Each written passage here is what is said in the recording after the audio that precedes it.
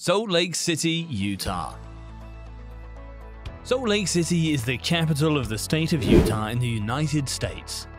It is one of Utah's most populous cities, known for its beautiful mountains, museums, classic theaters, parks, ski resorts, and friendly people. Salt Lake City offers a variety of outdoor activities including hiking, boating, and fishing, but its ski resorts are what draws the majority of visitors. Did you know that Salt Lake City is responsible for the world's highest jello consumption per capita? In today's video, we're going to take a look at the religious background it is famous for and the attractions to visit in Salt Lake City. Stick to this video till the end to find out what recreational activities this city has to offer you. Salt Lake City is a tourist destination not only for skiing but also for cultural and historical reasons. The hosting of the Winter Olympics in 2022 also added to its value. It is most well known for the leisure outdoor activities it offers, such as hiking in the gorgeous mountains, skiing, exploring ancient buildings, wandering through gardens, and much more. Let's take a deeper dive into Salt Lake City. Salt Lake City was created in 1847 by early pioneers led by Brigham Young, who became known as the Mormon Pioneers. In order to avoid persecution, they entered the semi-arid valley and altered it by establishing an extensive irrigation network that could feed the inhabitants and support future expansion. The city, which has a population of 199,723 in 2020, is the heart of the Salt Lake City metropolitan region, which has a population of 1,257,936.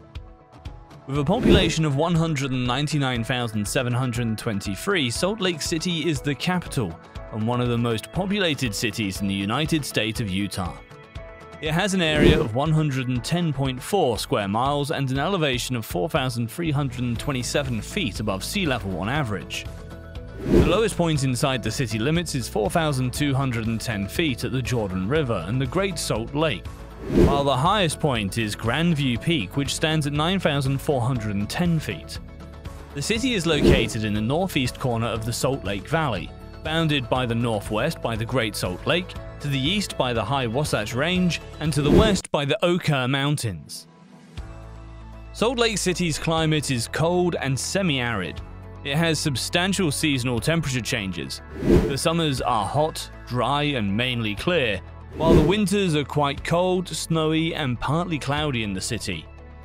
Massive storms that roll in from the Pacific Ocean via the jet stream from October to May are the main source of precipitation. There's a lot to see and do in Salt Lake City, which can be overwhelming.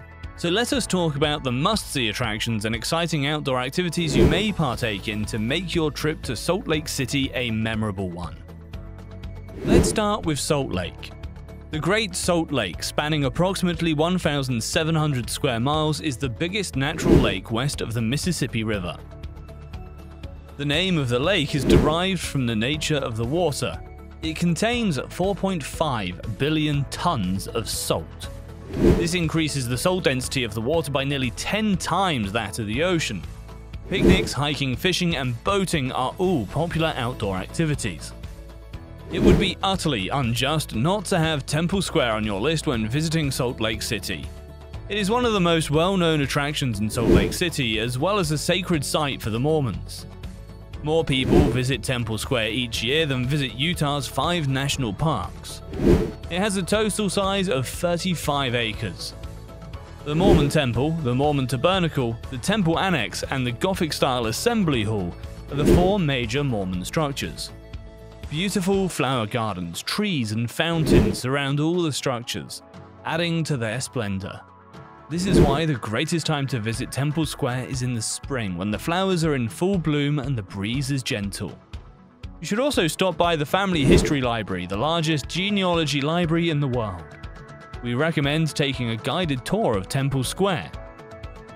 There is no better way to learn about a place than to go to the museum. Museums allow you to see the region through the eyes of predecessors. During your visit to Salt Lake City, you can take your family and friends to the National Museum of Utah for an enlightening experience. The museum is housed in a magnificent copper-clad concrete structure. The museum includes about 40,000 square exhibits and teaching facilities, as well as 1.6 million pieces in its collection, thanks to its massive spaces. A computerized globe, dinosaur fossils, and a three-story indoor canyon are among the highlights of the rare goods on show. Overall, this museum is well worth your time and money. Also, when you're done exploring the ancient treasure within the museum, you can check out the Red Butte Garden, which is right next to the museum. It will make a great background for your pictures. And who knows, you may also experience something like William Wordsworth felt after seeing the daffodils. Skiing is one of the dominant reasons that attract visitors to Utah, and if you are fond of skiing, you made the right choice by choosing Salt Lake City as your travel destination. Within easy reach of the city are the ski resorts of Park City, Deer Valley, Snowbird, Alta, Brighton, Solitude, Snowbasin, and Powder Mountain. All of them are equally amazing and with their own peculiar charm. You may also choose any resort for skiing based on your choice. Snowbird Ski Resort has been recommended by a lot of visitors. The Snowbird Ski Resort, which covers 2,500 acres and has 3,240 foot vertical drops, offers 169 routes for both novice and advanced skiers. Some travelers even compare the slopes to those found in Colorado. Hiking, biking, fishing, and even ziplining are among the warm weather activities available at the resort. Another feature is the picturesque aerial tram, which transports visitors up to 2,900 feet to the summit of Hidden Peak. Snowbasin and Powder Mountain are also amazing but underrated resorts located about an hour away to the north of Salt Lake City. Plus, if you feel anxious and hate being in crowds, then Snowbasin is the ideal destination for you. The Powder Mountain is a historic key resort that has the skiable terrain of all the resorts in the United States. If you visit Salt Lake City with your children, they will be overjoyed if you take them to the Hogle Zoo. Hogle Zoo is easily accessible from downtown and is located on the city's eastern outskirts. The zoo is 42 acres in size and home to around 800 animals from all over the world.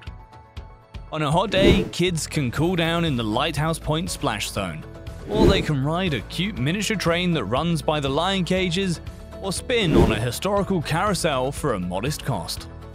A visit to the zoo would be a thrilling and unforgettable experience for your children, and it would be the highlight of their trip to Salt Lake City. Now let's talk about where to stay in Salt Lake City. Let's take a look at our top 3 picks. The top one on our list is the Penthouse Loft. If you want to go for a luxurious and intimate option, this house will fit you perfectly. This loft is located right in the heart of Salt Lake City, the best thing about this 1100 square feet house is the attractions like Gateway, City Creek, Temple Square, Vivint Arena, Capitol Theatre, the Utah Symphony, and various restaurants and pubs are all within walking distance. It contains a well-furnished single bedroom, a bathroom, a kitchen, and a living room. The next one on our list is the Modern House, and it is named so because of its contemporary design and structure. This elegant house has three bedrooms which can take up to six guests. Not only that, but it also includes a pool and a surround sound home theatre.